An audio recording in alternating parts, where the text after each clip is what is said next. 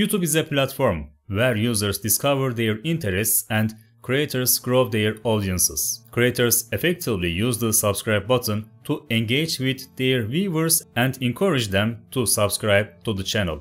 This button allows viewers to subscribe to the channel with a click and easily follow new content. So, how can you create an attention-grabbing subscribe animation for your YouTube videos using After Effects? In this video, I will show you to create an aesthetically pleasing subscribe button to impress your viewers and get more subscribers to your channel. While it may seem complicated at first, I will take you step by step to make it simple. While we are at it, you can see how this button reacts by clicking the subscribe button below. First, let's create a new composition, 1920 by 1080. It's a standard video size. I click on the new composition button and in this window, you will see the values 1920 by 1080 written. A 10 second video is enough for the YouTube subscribe button. Let's make the background white. We can change them later if we want. I click OK and our composition is created. After creating the workspace, we will need a subscribe button. For this, we need to select the rectangle tool. It's right here. I select the rectangle tool. If you see another shape, you can press and hold on it here to make the other options appear. Even if there is such a thing, we need to select the rectangle tool again. Let's even choose the rounded rectangle tool so that we have an oval button, not a full corner. Of course, we need to make some adjustments after drawing. It probably won't look like this for you. I'm reducing the stroke width value, I'll even make it 0, so we won't have an outline. Let's set a color by changing the fill value to solid color. This is exactly how I came across a palette where we can specify the YouTube color, so we can directly activate this color by selecting the button we drew and clicking on it with the eyedropper icon. We may need to use these colors again in a moment so I'll leave them here. After creating the button, we see that the center point is in a different place. We can set the center point to automatically place it in the center of the button by clicking Ctrl Alt Home on the keyboard. Then I open the Align panel and center it both horizontally and vertically. The red button is now ready. Since shape is layer 1 among the layers, let's rename it. First of all, I change it to YouTube subscribe button we need to scale value to give animation. I press the letter S on the keyboard. With this selected, the scale value opens. On the 10th frame, let's make our adjustment so that it becomes this size. When the timeline is at frame 10, I click on the icon on the left of scale. See it has assigned a keyframe here. I move the timeline to the beginning and set the scale value to 0. See when we have an animation like this to start with. It is a very static animation, so I'm going to select both keyframes, right click and select the Easy Ease option under Keyframe Assistant. Then I'm going to open the graph editor. Through the graph editor, we will be able to give these keyframes a much more dynamic feel. I select the keyframe on the right and move the yellow dot to the left. Now look what kind of animation effect we have. The first step is complete. In fact, each step is actually that simple. At the end, a beautiful subscribe animation will be created. Now we can write text on the button. I take the text tool and write. I'm writing subscribe here. Let's apply what we have learned right away. Look, the center point is in a different place now. So, it is under the text. Therefore, I centered it by clicking the Ctrl Alt Home buttons. Let's make our horizontal and vertical aligning again from the Align panel.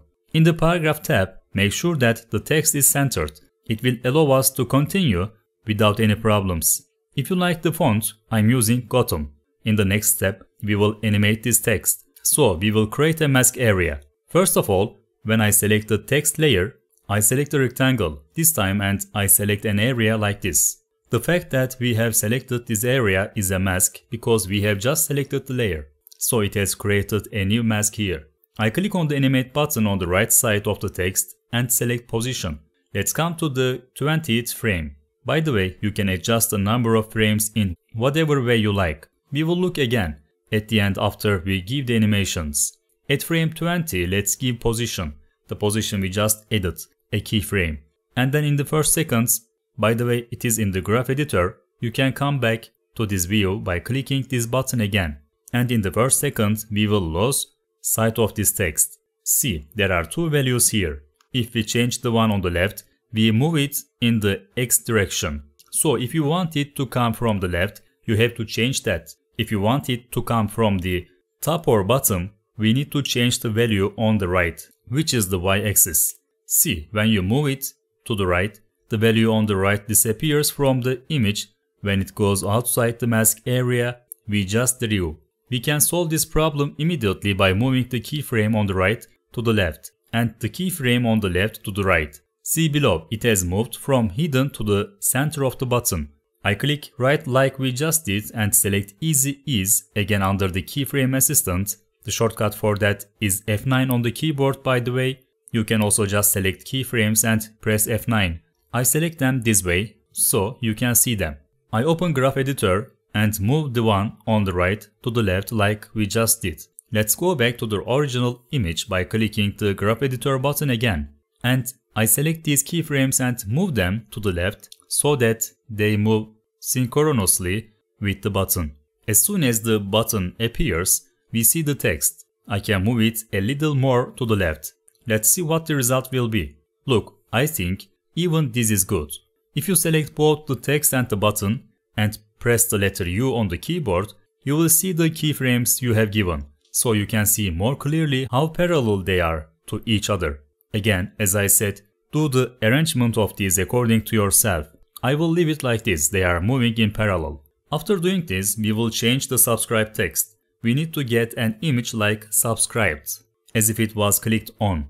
I click on the subscribe text Let's click on the icon to the left of the source text and then I move the timeline forward and change it to subscribed with the text tool selected. What did we do in this case? We have taken advantage of the feature we just centered in the paragraph. Although we have added a letter, our text is now symmetrically located exactly in the middle of the button. Here is what we are doing right now. Notice these two keyframes. There was a transition between them and we changed the text through source text. Of course, the color in the background will also need to change when clicked. Let's open the properties of the button in the background. Inside the rectangle in contents, you will see a fill value. The fill value refers to the color inside. Let's give it a keyframe in the color section and a little bit later we need to give it a gray version. We can choose one of these for the gray version. Immediately, I take the eyedropper icon and we need to choose either this one or the other one. I choose the one on the left. We need to make them parallel so that the colors change as soon as the text changes. We can apply the method we just learned. I select both and press the letter U on the keyboard. Let's watch the animation in general. It grows, it changes immediately. We can space them a little bit to the right. It's growing and changing quickly. Nice. Let's make the bell in the sentence subscribe and don't forget to press the bell. We need to use a vector for the bell. I've added a vector to the scene, let's drag it here. This is the vector, let's place it now. If you don't like the color, you can also change the color of this using the fill effect. These colors are now equal. This bell needs to come out from behind the button and let's adjust it so that it comes from around here to the right. I select the icon and press the letter P on the keyboard. P for position.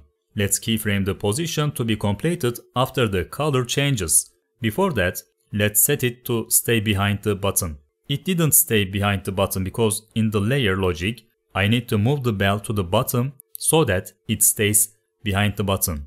Right now it is behind the button. I move it and it goes from left to right. I think this image is a bit wide. I'm narrowing it very slightly. It looks more aesthetic this way. Let's do the logic we did here again. I select Easy Ease through the graph editor and slide it to the left like this. If you wish you can open them a little bit more. It will add a softer feeling. Look, as you can see, it appears from the beginning.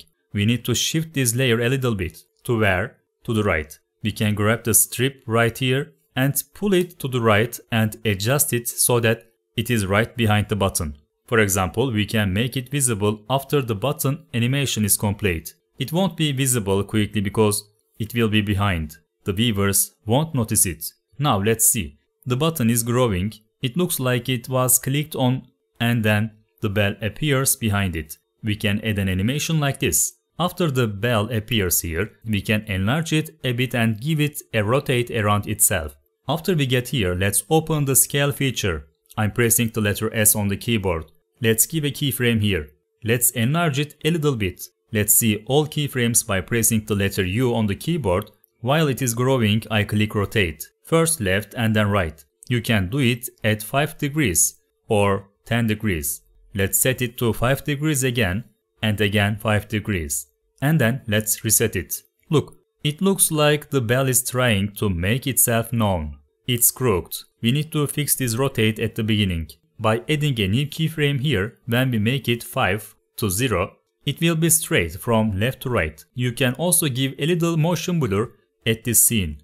I'm going to click on the motion blur icon and then I'm clicking on this motion blur. So we can see a slight motion effect with these edits. See, there is a little bit of motion blur here. This of course changes according to the speed of the movement. Look, we can see this effect very easily coming from here. Let's take a look at what we are doing in general. We can see the animation processes more clearly. I'm playing it, I think it's good like this. Maybe we can move it to the left a little bit more. Let's select all keyframes and move a little bit to the left. I want to move a little bit more. Just as soon as the color changes, the bell comes out. This is the animation. This way it can be used in a very nice way. I select all of them and press the letter U on the keyboard. I don't need the YouTube colors anymore. I delete this. At this point we are going to play it backwards. Let's lose the bell first. To copy it, first I select this object above the timeline, Ctrl C and paste it here with Ctrl V. Note that the layer you are going to paste needs to be selected. I come back here again with Ctrl C, then I go a little bit further and paste it with Ctrl V. Now it has come from right to left. We can select two of them and adjust it so that this time it is the other way around. We are done with the bell. We can even cut out the bell at this point. I press Ctrl Shift D on the keyboard and look, it's cut. And I'm also deleting the top. Soon, when this subscribe button disappears, we won't see the bell. Then let's make the text disappear. These two keyframes make the text visible. If you have problems with copy and paste, I can also suggest this as a quick method. Since the keyframe is already given in position, I click on the icon on the left of it. It creates a new keyframe here. And I shift the timeline a little bit and move it on the y-axis. Look, we made a quick return. You can edit these. We did it in 10 frames. Again, we can perform these operations in this 10 frame range. Let's do the same with the button. I did copy and paste, no problem. I'm moving 10 frames in scale and I'm copying and pasting this here.